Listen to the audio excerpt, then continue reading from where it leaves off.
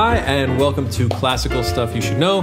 My name is AJ Hannenberg, and I am joined by Graham Donaldson Hey, and Thomas Magby. Hello. And this is a podcast about the classical world. We're just trying to bring old things to you in a way that you can deal with them. So it's not, uh, you know, we're not we're not too intense around here. It's, we're just uh, taking it easy on the old classical train. Man, our intros are always so good. this, but this old stuff, you know, it's it made us. This is this is where we're from as Westerners. Yeah. So let's learn it. Yeah, so know like know your background and stuff. So let's get we're getting real intense about it now. Sorry, yeah, just really aggressive about it all of a sudden. Why haven't you learned this stuff? Yeah, so yeah, we're tell just a you what. podcast about the classical world. Uh, we hope you enjoy it. And today we got some stuff from Mr. Thomas Magby.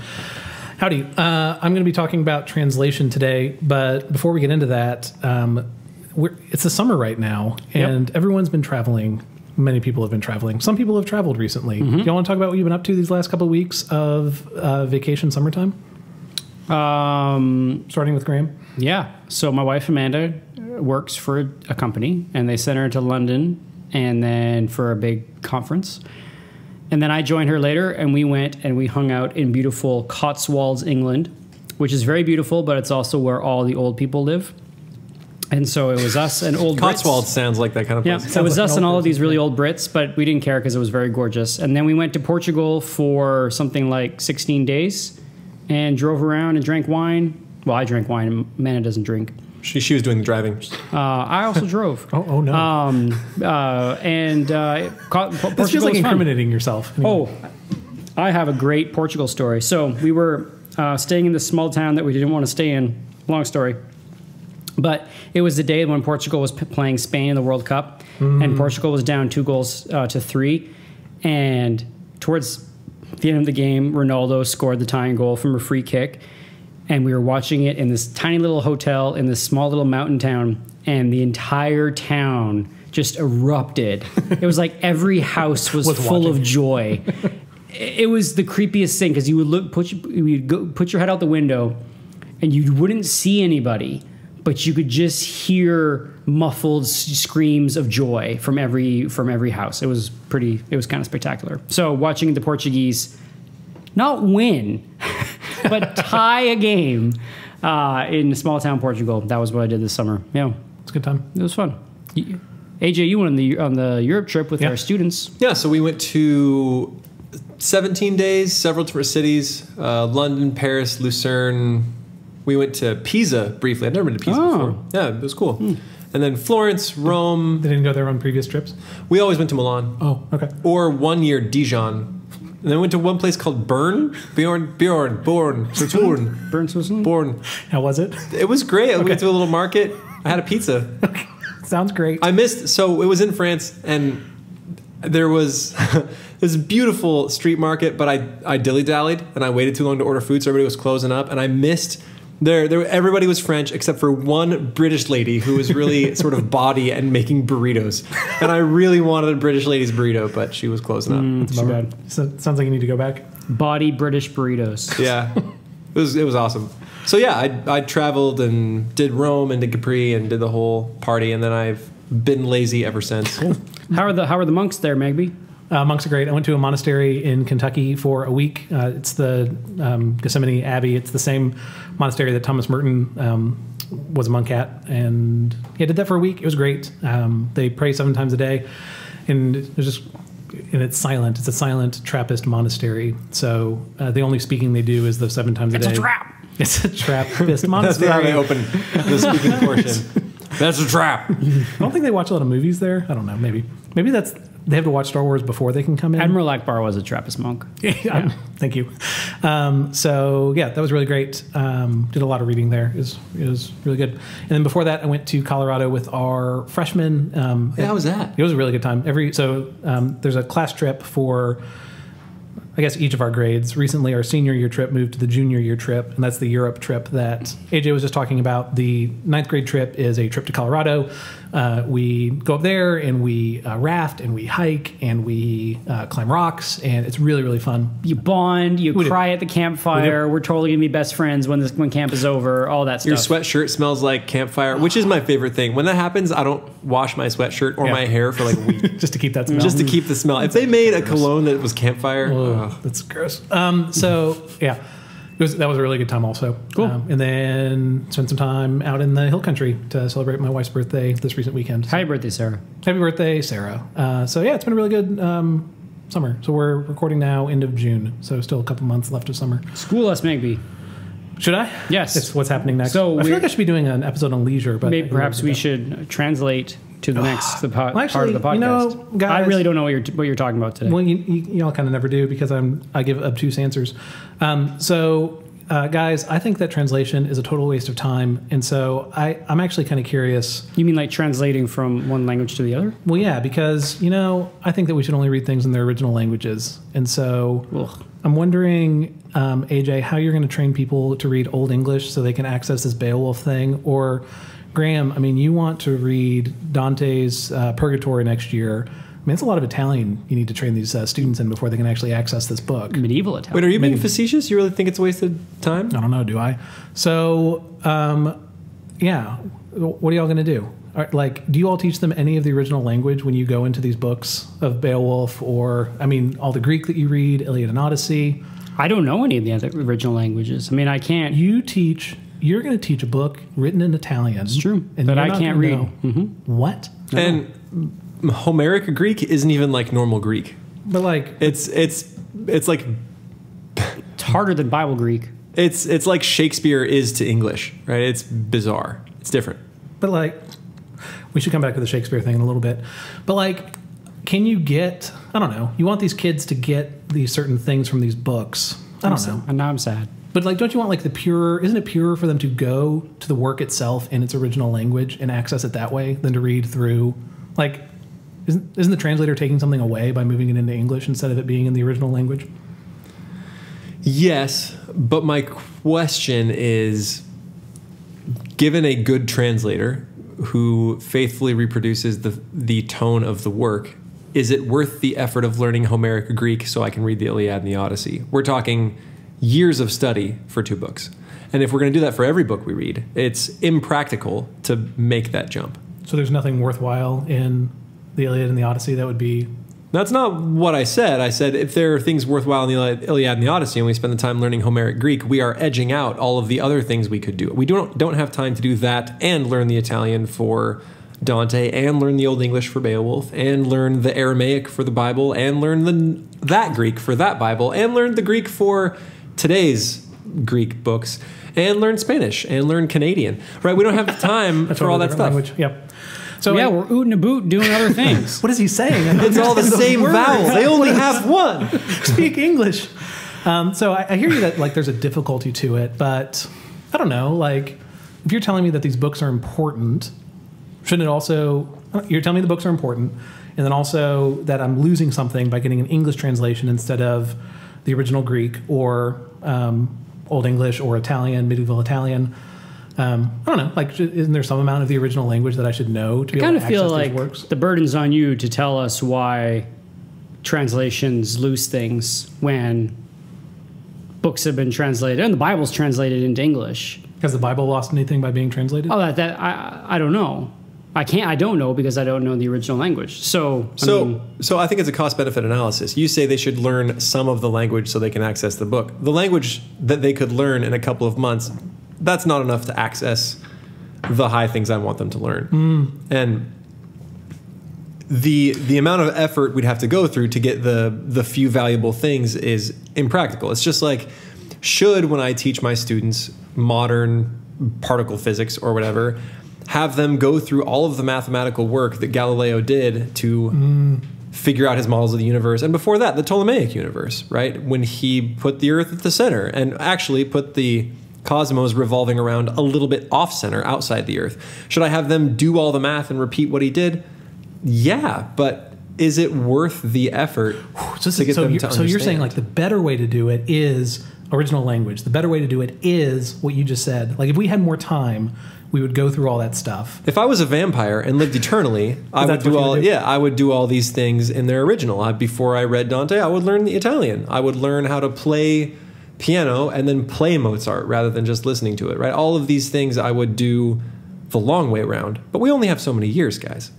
I'm going to argue the opposite of that. I'm going to argue that things are not lost, or at least not lost to the the degree that we might think they are in a translated work, and that in fact it might be better for us to be reading a translated work than even the process of learning the language and going back to the original. You original. hoodwinked us. I, knew it. Hundred percent did. Yeah. I'm furious. Uh, really? So the uh, main essay that I'm going off of for today's discussion is Walter Benjamin.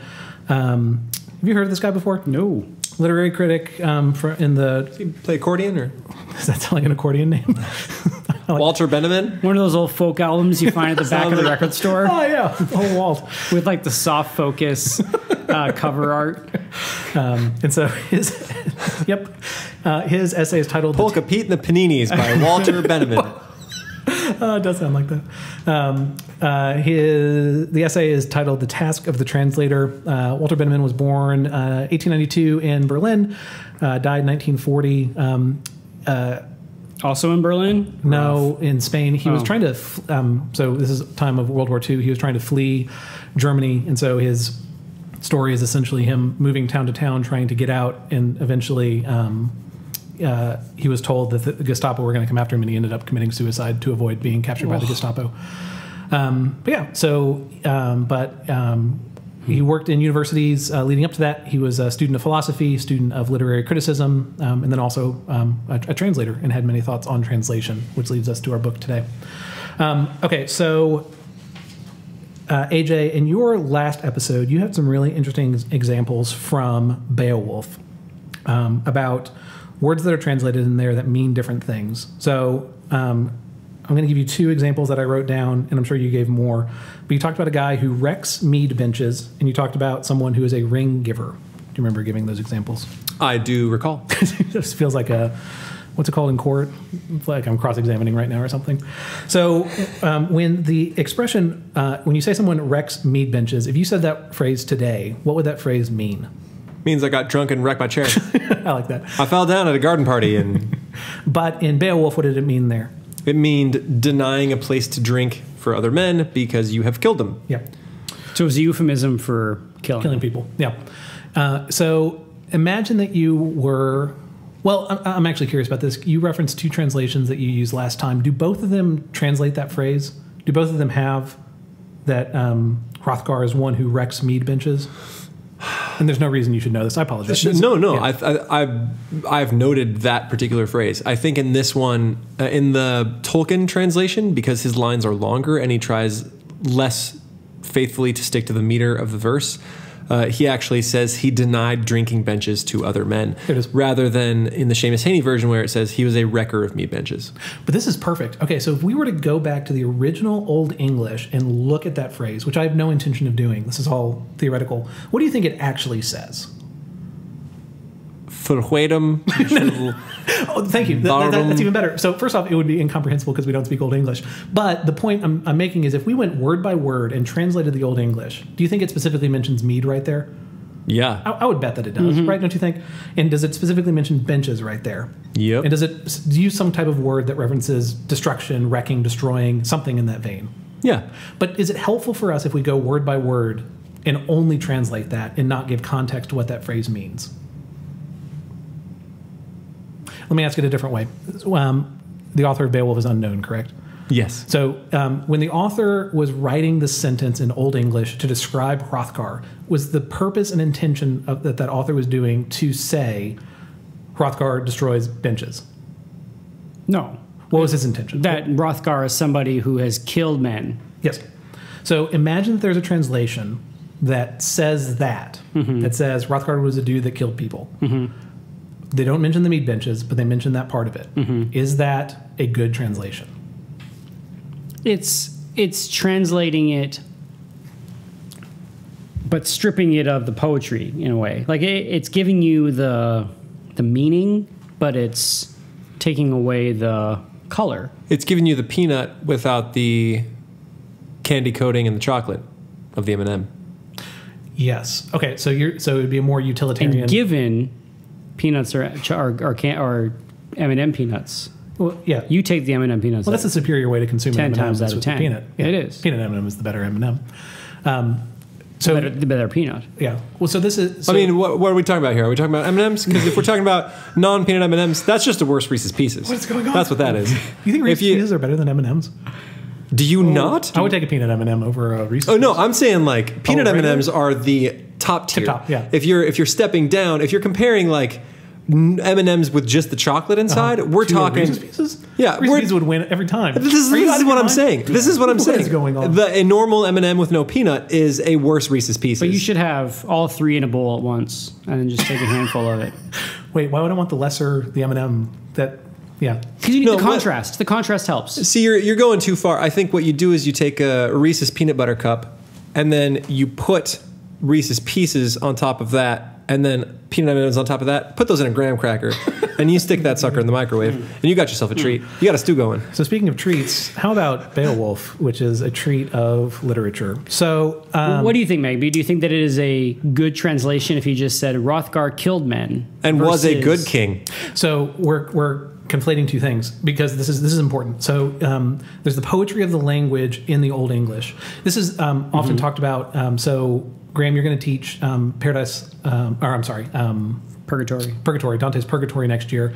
Um, and I don't know the details of this, but you probably do. There's this very specific rhyming scheme that Dante uses. Terza Rima. Could um, could you go into it just briefly? Can't remember. Okay, so I, I know it. It's uh, oh, sorry, you teach the Inferno. Why? Sorry. it's Yeah. stanzas of three, Yeah. and it goes. The rhyme scheme goes A B A, B C B, Yeah. C D C.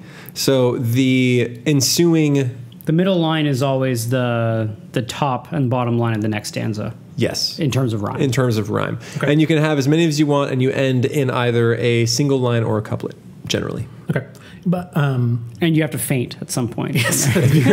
In Beowulf, yeah, No, not in Beowulf, Dante, and Dante, Dante. passes out all the time. Beowulf never No, he passes never- out. that man he has never slept uh, or breathed apparently with his nine hours underwater. Um, and swimming in the ocean with chainmail. but when you read uh, an English translation of uh, the Inferno, do they follow that rhyming scheme? Not necessarily. No, I think there's a translation that tries Wordsworth, Yeah. and Isn't it? it's Jenks. It- It's supposed to be bad. Be, I, I- from what little reading I do, you've actually read it, I'm sure. No, no, or no, parts no. of it, whatever. I, I have heard that it's. I, I read a little bit once in a in a library, and it was impossible. And then I switched. Well, because what was Wordsworth's goal there? The goal was not faithful representation of um, the meaning of this text. It was following this very specific structure of the text. Correct? Like there, there's a difference between those two. Correct. And so when you're reading the Inferno, they throw out, not throw out, they wish they could have the same rhyming scheme because it's probably beautiful in whatever old Italian they're they're writing it in. But it just doesn't work in English. doesn't work in English. And so instead of butchering the English, they choose to throw it out and make an English translation. It's like when you try to take the Psalms and turn it into a song. It doesn't really work. Probably worked really well in Hebrew. Yeah. But like finding a good tune to actually fit the English translation of the Psalms is always super janky. Yeah, because it's not. Because hill and war don't rhyme. Yeah, yeah. Yeah. And so, and again, like the the singing of it was tied to the Hebrew itself. It wasn't. It's not tied to the English in the same way, or it's not. That's not the goal of the translator is to um, uh, copy that same element of it. So, wh- the only point I'm trying to get at is you lose something. There's a form that you miss in the Inferno, going from Old Italian to the English that we have today. But let's take our we can do either example, but just because we've been talking about Beowulf, let's take Beowulf. And let's say that you went back to the original Old English and you sat there with a dictionary and you went word by word through it. Would you understand that text more than you do now? And I understand it in this scenario. Yes. So you have the dictionary. So, like, word, you, you see a word and you look it up and then you translate the word. If you go word by word, will you understand Beowulf more? But that's sort of a, a false analogy because when you are translating something, often it'll say, you know, you, you get to a word and it'll say, well, you can translate this word as as as avenge. You can translate this word as Ice cream. honor kill. You can translate this word as uh, blood price. Like the the translations that you know it's not like there's a one to one ratio between the old English words and the new English word or our English words. Um, um, in my very little Greek that I've done and my very little Latin that I've done, you know, two students will translate the very simple Aesop's fable, but you'll have different. You've you've making you've made different choices on some of the words that have different connotations. You know, the the articles are often going to be the, are always going to be the same, but the verbs or the uh, and the nouns will be the same, but often the verbs and the adverbs. Uh, Will change the will, meaning. will change the meaning of it, and you need to sort of figure out which one you think fits the best. And so you're saying that they're different, Mm-hmm. but can one be better than the other? I think yes, because the, it's taking it into the context of the rest of There the. So a, a translation is an interpretation. Yes, absolutely. Um, When you say that, is that a good thing, a bad thing, just a statement? I think, I think most people mean that as a negative to say, when Seamus Heaney uh, translated Beowulf, he made choices about what he thought Beowulf was about, and therefore yeah. it's not the original. Sometimes the cover of the song is better than the song. Say more. Well, just sometimes um, someone who covers a famous song can do a better version of that song. Yes. So I'll give you an example. Um, so "Be My Baby," you know, "Be My, Be My Baby." There's that song, the 1950s or whatever it is. Maybe we'll put links to it in the show notes. And then there's a there's a cover of the song by. Um, AJ, you told me about this guy. It's not DJ Stith. It's D. DM Stith. DM Stith does a cover of "Be My Baby" that is very different. Um, it's the same song, but it's definitely a different kind of interpretation, and it's awesome. Um, um, but anyway, but what I'm it's good- saying, my, but my point is, is like, is like It's good for different reasons. it's good for different reasons, and so I assume. So Wordsworth's translation, I don't think it's Wordsworth, but whoever did the translation, I think it was Pope, who did the translation of, of Dante with the Terza Rima rhyme, was do, was making an interpretive choice to keep the rhyme, and to and to maybe kick out some of the easiness of reading, whereas Dorothy Sayers doesn't have the rhyme, but has this very great translation. And then the one that I'm choosing for my 10th grade class That i- Esolen- is Anthony Esolen, um, which I actually haven't read yet. I'm doing that this summer. You know, so yeah, so each interpretation, each, each translation is an interpretation. And there's a reason why some of these translations get their own sort of status in the halls of of Western canon, um, because they've taken medieval Italian and turned it into English, and were faithful and created something great. Yeah. So let's we'll follow that. I'm gonna start quoting a bit from the essay um, as we go into it.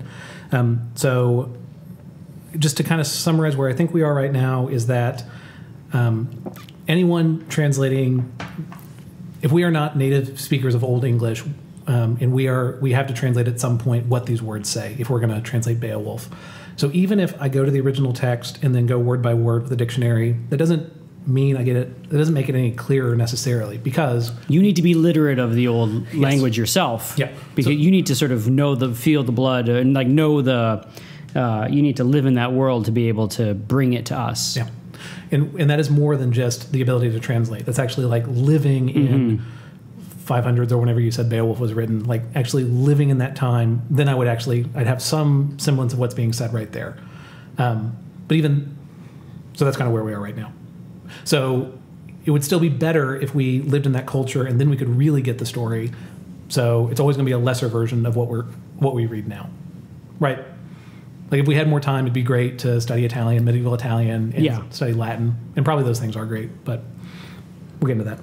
Okay, so um, Well, this is why C.S. Lewis said that like learning Greek and Latin was a great joy because then you can read these things in their original language and you and you get all of this color and all of this. It's it's like looking at a picture on the internet of a work of art and then going and seeing it in person in the Louvre yeah, or whatever. Like then this is the this is an experience our students have all the time all the time when they go on their Europe trip.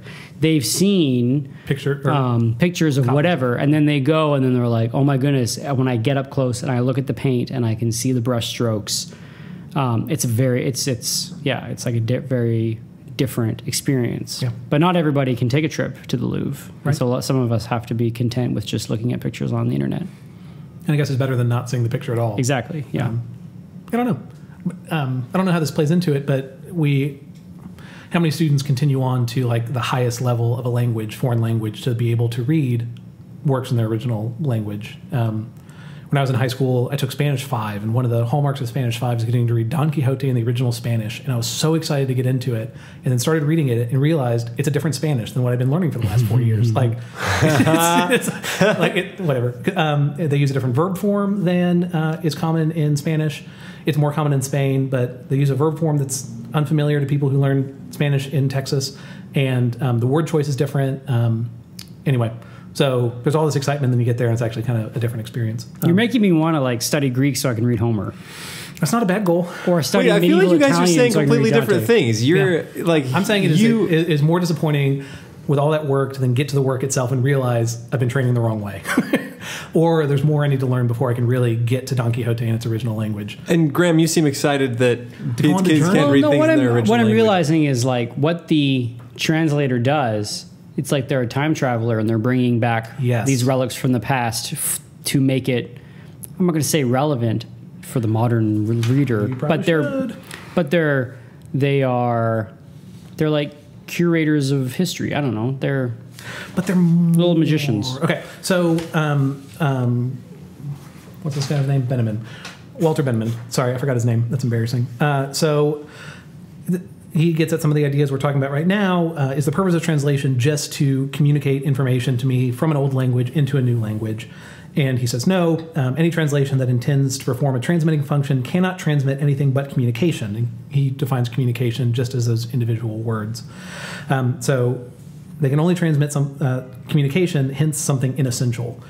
The translation of each individual word is not helpful. That's not what we go to books for. We don't go to them for these individual words. We go to them for something deeper, and we'll get to that later. Um, and he says this is the hallmark of bad translations: people who are just trying to match, um, bringing uh, words from a different language into a new language. So that's the hallmark of a bad translation. Um, he goes on. Um, he has these questions about whether a work is translatable or not, which I'm not going to go into. Um, he talks about traditional translation being about conveying the form and meaning of the original as accurately as possible. Um, and that's kind of what we're getting at with whoever wrote this translation of Dante with rhyming. That the goal that they have is um, matching a certain form. But matching a form that worked in an old language is not the same as making a form work in the new language. Um, English is different than Italian. Um, it, it is easier to rhyme words in Italian because a majority of them end with oh yeah, right. Like I don't know. Isn't it O or A? Like a majority of them, or an, an I. A majority of them are going to end with a vowel, um, as opposed to English, where it's not nearly. Um, it's the same in Spanish. When you read Spanish poetry, it's very easy to rhyme words together. Uh, it's not nearly as easy in English. Um, and so, if you were to try and match the rhyming of Spanish and English, it wouldn't work very well um, because the languages are different.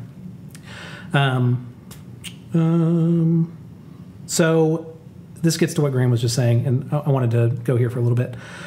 Um, Benjamin says that a, a part of what translation is is that uh, a translation is a transformation and a renewal of something living. Uh, the undergo the original undergoes a change. Even words with fixed meaning can undergo a maturing process. So even words, if I know what a word means, words change meaning over time. So even translating word to word, even this is what I wanted to talk about with Shakespeare. Like in reading Shakespeare, he uses words differently than we do. And so I, uh, in 2018, cannot just read Shakespeare by itself. Maybe I can. Well, we have quote translations of Shakespeare. My students read do it all the time. They do the like no fear Shakespeare. Yeah. And that's like It's helpful in a way. it's but helpful in a way, but it's but are you okay? Shakespeare, They- Shakespeare is not- not so foreign to the modern Yeah. tongue that you Yeah. can't learn it. yes. I think that's a great way of putting it. So it's capable of being learned, but it's still different. Like it's there is still translation in it that we're doing. Um, but what um, what's the name of the one of the bad translations you were just talking about? No fear, Shakespeare. No fear. What no no fear Shakespeare is not a transformation or a renewal of something living. Do you call it a transformation? No, it is not. I mean, it's doing what the message did to the Bible If, I don't know if you're familiar with the message, Yeah, but yeah. like the, the sort of the modern, uh, uh, it is an interpretation of the Bible as opposed to, well, it's not, yeah, not a translation. For those who balk at the work of doing Shakespeare, it's something that gives them the kernel without all the dressing. Mm-hmm. So you get the information, you don't get to enjoy it, well, it's going to help them pass a ninth grade public school test, is what it's going to do. but not a Veritas one, am I right? Nope. Good, Well, maybe, but Oh actually, no. my, my that test is rough. especially if they're only reading Spark Notes or whatever. it's a quote test. It's that it's a would go party. poorly. Um, so original work. Oh, do you have something? I was just going to say, like, here's an example of Act One, Scene One of Hamlet in No Fear Shakespeare. Bernardo, who's there? Francisco, no, who are you? Stop and identify yourself. Long live the king. Is that Bernardo? Yes, it's me. You've come right on time. The clock is just striking 12. Go home to bed, Francisco. Thanks for letting me go. It's barely cold out, and I'm depressed. Um, versus, like, tis now struck 12. Get to the bed, Francisco. For this relief, much thanks. Tis bitter cold, and I am sick at heart. Right? Like, it's, I don't know. It's, makes me sad that. What about it makes you sad? that it's it's a it is a translation that is a dumbing down Yep. as opposed to a translation well it's a dumbing down because we as english speakers we should be able to understand shakespeare as opposed to we need a translation of sir gawain and the green knight or sir gawain and the green knight because it's it's um it's written in an old english that we can't understand Yep. you can kind of understand it um, you wouldn't be able to understand Beowulf, but you can kind of understand the Old English of Sir Gawain and the Green Knight. But you, but the translation um, is is necessary, whereas it's not really necessary for Shakespeare. Because it closely enough resembles the English that we use today. So it's Yeah. kind of different, and words mean different things. And also, Shakespeare just made up words because he could. But we can learn those things and then still get Shakespeare. Correct. there is but there is still something we miss in not living at the same time as shakespeare i don't know there's more to get out of shakespeare than just translating words that's what i'm getting at with the no fear of like you still miss something even if you get um, the plot or like it's even just the basic the bare outbones of the plot because you miss how the different characters talk um, by dumbing it down all to the same Anyway, so um, we will move on.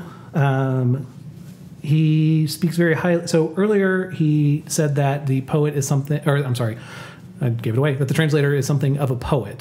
So the translator must be able, is not just going word for word, they're making poetry.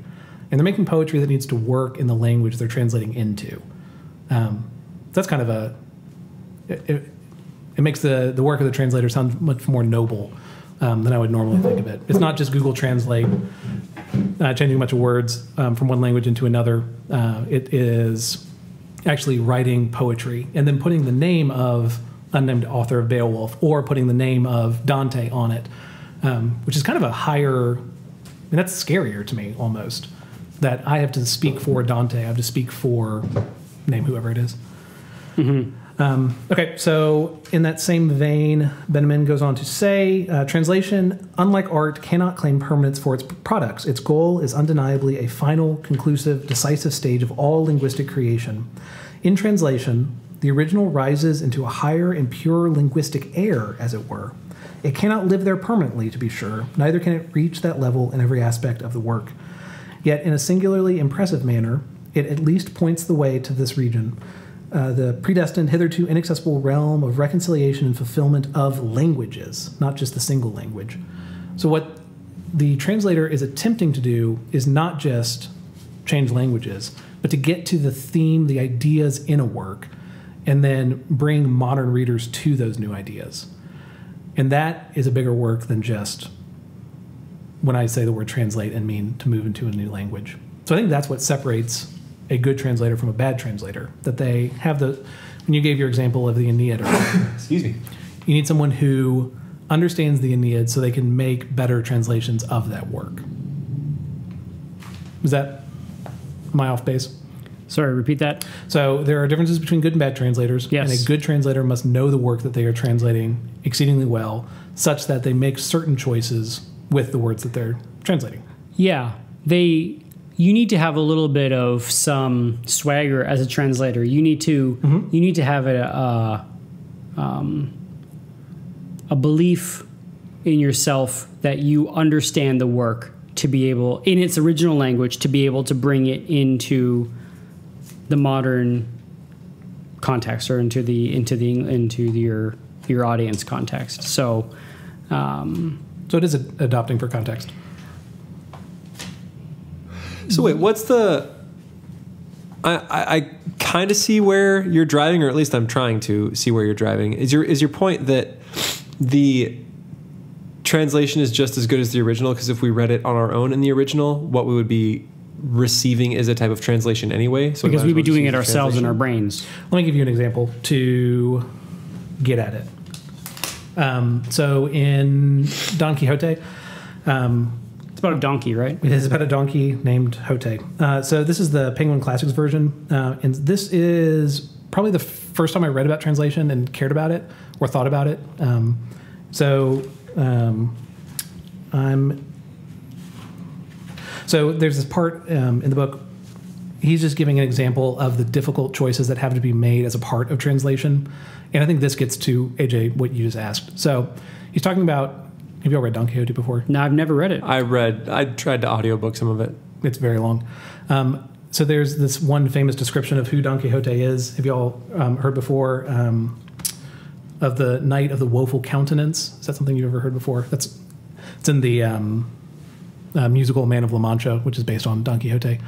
They talk about him being um, the Knight of the Woeful Countenance, which is this very like um, overblown Romantic, romantic phrase, yeah. yeah. and that's but that's based on a certain interpretation of don quixote. Is don quixote this romantic um, man who um, while he doesn't achieve his goals he pursues his goals. And so in the end he is in a way a hero. Or is he delusional?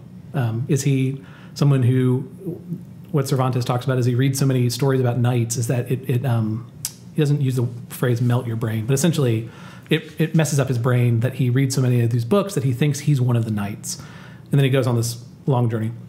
So your your choice about who this Don Quixote is will change how you think of him. Um, so the original phrase that gets translated to "Knight of the Woeful Countenance" is "El Caballero de la, de la Triste Figura," which literally means the knight of the sad figure.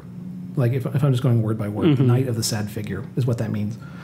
Um, and that has been translated as um, the night of the ill-favored face, the night of the rueful countenance, the night of the sorrowful figure, the night of the sad countenance, um, any one of those. But all those miss the point that Don Quixote has read a lot of books, but he's not educated, and Sancho Panza is not educated either. And Sancho Panza is the one who gives him this title. And so to think that Sancho Panza, an, un- an uneducated peasant, would use the word Rueful. yeah, rueful countenance. Like, of course he wouldn't say that. Or to say, uh, even sorrowful figure sounds overblown. Um, so in the Penguin Classic, it's translated instead as the Knight of the Sorry Face. And, like, that gets That sounds more like what a little uneducated squire would say. Right. Yeah. And so that, that's what I'm getting at of this is just one example, but just me having the Spanish to say El Caballero de la Triste Figura doesn't tell me like what does that phrase mean? I have to make a choice about what that means. And a good translator will make that choice in my stead. Which you might look at as a bummer that I'm not making the choice, but like having read very little bits of Don Quixote in the original Spanish, you don't want it. like, um, anyway, whatever. I, mean, I just wasn't very good at Spanish. Um, so the translator is doing a work for us that we would otherwise be doing for ourselves. And good translators will do good jobs at those things. And bad translators will make really interesting stories like Don Quixote really boring. It's like when you get an awesome tour guide Yes. and they know the museum, they know these things, they have stories of it, versus if you just go to the museum yourself and you don't really know what you're doing, you just kind of like float around, or you know a little bit of, of all these things, and you're in you're interpreting or you're you're building the experience for yourself Yeah. versus you are have been given a tailor-made experience by a master. Just continuing on that, like, do I trust my reading of Beowulf more than I trust J.R.R. Tolkien's reading of Beowulf? Not a chance. Do I trust my reading of um, uh, the Inferno or Purgatory or Paradiso as much as I would trust Anthony Esolen's or Dorothy Sayers or who, whomever. Um, and the answer for those would be no. Like I would, yeah, I do not trust mine over theirs. And so I think that's the only point I'm trying to get at with this is that a good translation um, makes these books accessible in a way that even if you study the language for years and years and years, it wouldn't be as enjoyable, wouldn't be as easy as we make it sound. Um, and I don't think it's any, I don't think it's necessarily a a pure experience because you still are making the same choices a translator is when you are learning the language and going to the original text of these great works. I think that's my point. Okay. Two issues with your point. Give it. Number one, Yep. isn't there the danger if, No. especially if we take this, yeah, nothing's dangerous ever. uh, isn't there the danger if we take this and extrapolate it, to, extrapolate it to even other things beyond language that we are taking the impetus from the individual and offloading it to the experts, saying, you why why would you ever learn to change your oil? Are you gonna, ever going to do it as well as someone that you know has been changing oil for 10 years could do it? Why why would you ever do that? And if we do that too much, then we make man only specialized and in worst case scenario not good at anything because he's d- depending on every other expert ever right he becomes a cog in a machine and then only other people have the will to do the things that he should do himself so changing oil is a bad, bad example because it's simple but say something more complicated fix your computer Sure. right something like that isn't there the danger that we you know discourage students from learning a language because there are other people that have learned them better and have translated the works better than you could That's why I think it's important that schools do languages and do rudimentary basic translations so that our future translators get a taste for it who love it. So we have students who so our school did for a long time only had Latin through Latin 4. And then we had some students that got to Latin 4 early in their high school career and lobbied for Latin 5. Mm-hmm. And last year we had Latin 5 that had two students. And our Latin 5 teacher and these two students just sat around and from what they told me, like they enjoy Latin and they did translations of it wasn't even they did translations of I think it was the Aeneid? Oh, or it was Ovid. Um, and so, you know, you get, yeah, there's something, there is a, a, a point, of, there's a, a type of education, there's a type of, of understanding literature that you get when you have to translate it yourself. Um, which is why one of my favorite assignments that we do, uh, that we did this year in our senior English class, was that we made, our, our- as an extra credit, we had our students write an extra scene to Hamlet. And it was the scene when Hamlet gets captured by pirates. Uh, Hamlet gets captured by pirates and he goes back to, to Denmark. And we had the students like discover the long lost scene. And they weren't. 'Cause it's only trans- referred to in Yeah, it's only referred it's to. It's not actually a scene. So we're not having the students translate a scene, but we're having the students mimic Shakespeare in the Shakespearean English to try to create a scene that sounds like Shakespeare, which is a similar kind of headspace. Um, and that's a totally different. It, it what what it what it does is it reveals How to well. us as teachers that the students understand Shakespeare more than just like quote decoding it to their natural to like modern English.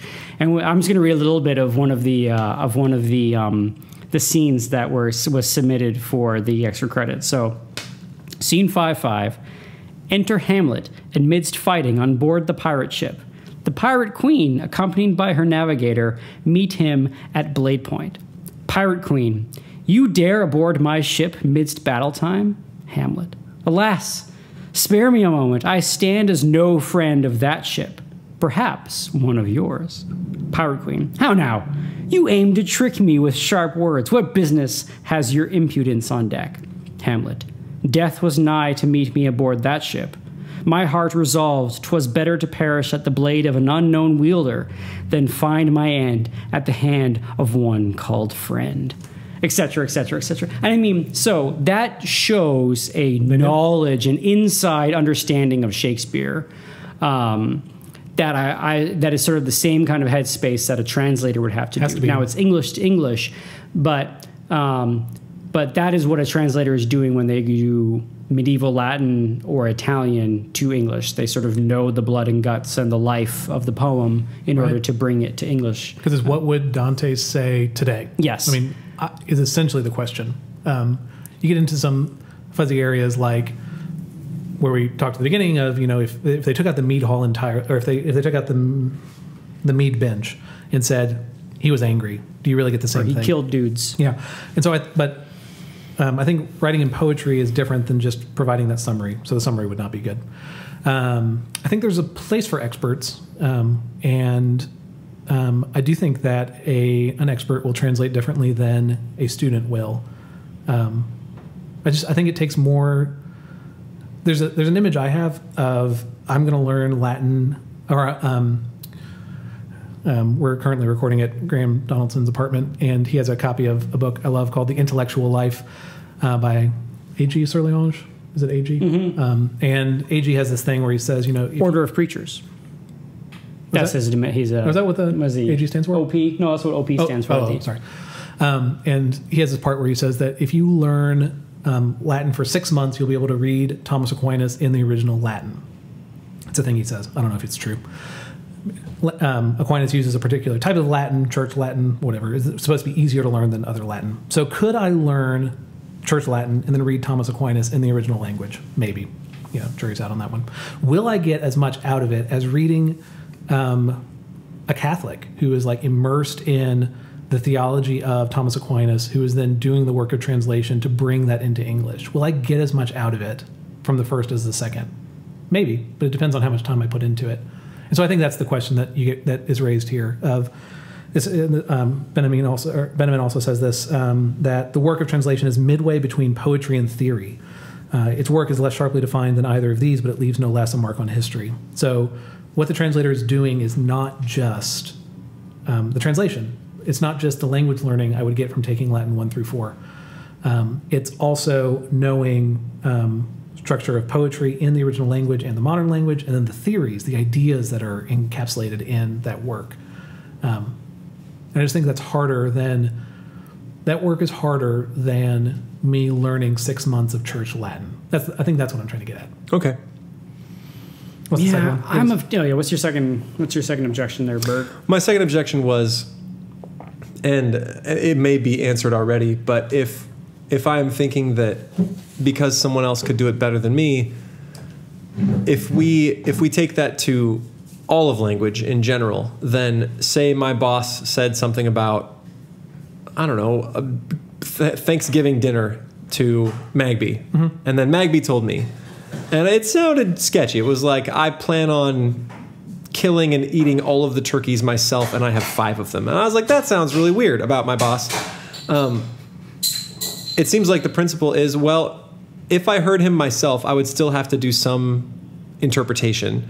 And since Magby is just as expert in the language as me, why not just let his words stand for what Troy said in the individual? It almost seems to validate rumor in that they they are just as expert as me. They heard with their own ears, and I would also have to do some sort of interpretation. So why not just depend on theirs? This is a great point. So, um, uh, what's the translation of the Iliad you use? I, it is Robert Fagles. Fagles, and like it's a great translation. Um, so my first attempt at reading the Iliad was from um, the Great Books of the Western World. The Mortimer Adler collection has Iliad and Odyssey in it, and it's um, I don't know who translates it, but it's not good. Uh, it's just really boring and hard to read. While the Fagles one, um, like the work comes alive. It's really engaging. Yeah. but they're both in English. Like they're both English translations of the original Greek Iliad. Uh, translation doesn't stop with just one translator. There are always new translations coming out, and I want to say the Fagles one came out in the 2000s. Yeah, at yeah, least it's it's, recent. It's, recent, and Esolen also is a, is a recent translation of it. Um, the the the the copy, the translation that's going to connect with us is not necessarily going to be the one written in the 1800s. Um, you, But, but what possesses somebody to say, you know, what we need right now is a copy, as a modern translation of the Iliad in 2018? Like, how do you get to that point where you say this is what we need to do? But, but have you have you still answered my objection? Oh, sorry, guys. I think so in saying that um, just because a translation has happened in English doesn't mean it's the final translation. And Yeah. so pretend and said that Troy um, shared with Graham and a- and me and pick other people, um, you would talk with multiple people to understand what actually Troy said, unless you were to talk with Troy himself. But that that's my point is that talking with Troy myself would still be the best option. Sure, it, it might just be a bad example because um, yeah, so maybe it's not a perfect analogy. yeah, yeah, and um, so Because in, in this isn't spoke because this is written word um, as opposed to spoken, um, and it's also you know thousands language. of pages, yeah, Right. as opposed to um, Yeah. a five minute. okay, I'm going to kill turkeys. That's Um, but yeah, but, uh, well, the part I'm getting at is that just because a work has been translated into English doesn't mean it's the perfect translation, and that's why. Uh, so I think the Odyssey just had a, a, a translation come out, and if I'm not mistaken, it's the first female translator of the Odyssey. Yeah. Um, and so I don't know what that brings to the translation, but uh, I think that gets at your question, Graham, of like, why do we need new translations? Um, has it been made um, accessible, enjoyable, knowable to everyone yet? Um, or have previous works of translation only been for certain people? Um, there's always room for a new translation. yeah. So, um, unless y'all have other questions, that kind of gets at the main point. Um, the I, I guess your takeaway would be um, read good translations, and the only reason um, I clarify, like, it sounds like a dumb thing to say, but like, there's just the Don Quixote example, especially. I lost my page, but like, if you were reading a book that talked about the knight of the rueful countenance, you'd be like, oh, this is the right one. Like, it's uh, um, it sounds like it's official. It sounds like it's the difficult one to read, and it just makes me think of AJ's um, guide to not writing bad or whatever it was called. Like things that um, How to write gooder is what I believe what I believe called. is what it was called in the podcast feed. Um, but like things that sound, um, things that are complicated sound like they're better, but they're not. Um, and that's what I love about this um, Penguin Classics translation of Don Quixote. Like it gets that um, they're two poor people who are traveling around. And they talk a certain way, and it's not um, the whatever English was called in the 18th century. Whatever it's not. That's not Middle English or whatever you would call that. Um, Elizabethan or whatever. So if somebody was translating Huckleberry Finn into French, There it is, yeah. and they gave like high sounding words to Huckleberry Finn when he's when he's saying his sort of good old Southern English, it would be a bad translation. It would not. But what you would have to do is make Huckleberry Finn sound like a French Tom, hast peasant. thou consumed my jam? My stores stand in depleted stead. Yes. But that but that joke is what um, Don Qui- what previous translations of Don Quixote have done. They've made him sound like he's this. I keep wanting to use the word highfalutin, which makes me sound not highfalutin. Florid? Yeah, sure. It, it, it makes him sound florid. And, um, we are in Texas, so sorry, apologies, but not sorry. Um, uh, it, he is more florid than um, the character himself should be. Is that But just because it's complicated doesn't mean that it's wrong either. I mean, take take Shakespeare for example, right? Perhaps that's why we get all this high flown language is because Shakespeare does seem complicated. Mm-hmm. But the caveat that Shakespeare's good. it? But he also. This is what boggles my mind. Like he was writing for common people. Like when you went to the Globe, they had this like whole section of people that got in for cheap. Like they're the ones who were there to enjoy But it. when it is acted, it is easily Yes. understood. Yes. Easily understood. Yeah. Right? When you read it, sometimes it's a little tough, but in the translation of actually being put onto stage, those passages are readily understood. Yeah, that's such a good point. We should do another podcast on that. Uh, yeah, we're at 52. So if you want to. Great. Yeah. Uh, so this has been classical stuff you should know. I'm AJ Hanberg. That's Thomas Magby, and one Grab Donaldson over there. Grab. Grab, grab, Grab. grab, Donaldson, and it's summer, and so that's happening. And you, if you want to tweet at us, you can twit at classical stuff at Twitter, C L S S C A L stuff at the twit. And you can check us out online at classicalstuff.net. You can email us at classicalstuff at veritasacademy.net. And apparently, we are still getting the Catherine Ball thing wrong. Yeah. He was not the confectioner No. to William the Conqueror. He was he designed chariots for William the Conqueror's brother. Yeah. Yeah. So William was doing a lot of conquering. Yeah. The brother was helped in William the Conqueror's army, Yeah. and he required his own chariots. She's related to the guy that built and designed those chariots. William And- the Conqueror's charioteer. yeah, and so because the charioteer or the designer? the designer Oh, of the the chariots. chariot- yeah, yeah. Um, not just the charioteer. Charioteers aren't paid well. Hmm. Chariot designers Mm-hmm. are paid well, and so because So still- William and his brother Daniel Yeah. were very successful. Yeah. Uh, this guy made a lot of money. Eventually, had a castle. So it's not a castle. Oh, so still, the, still it's the a- castle. St- so still owns the castle. Yeah, that Okay. part we didn't screw make up. sure. Like they, she does have a familial castle. Yeah. It's that the money was not earned with confections or sweets or Cherry designing. you know, yeah, sweets and stuff. It, It was a bad actually translation of cherries. Yes, yes, yes. Exactly. So that was our own fault. So sorry, Catherine. Uh, we'll get it right. And if you would like to translate the transcript of this podcast there it is. into Shakespeare in English, you can email us at classicalstuff at veritasacademy.net with your excerpts, and we will read it on the next podcast. Yeah, That'd that sounds fun. great. Yeah. Okay, thanks for listening. Hope you had a good time, and uh, you know, stay cool out there. It's a hot one in Texas. If you're listening to this in Scandinavia, you know, go We- take a swim. We're jelly. I bet it's cool up there. Yeah. But down here, it's it's blazing. So you know, stay cool, folks. Bye. Bye.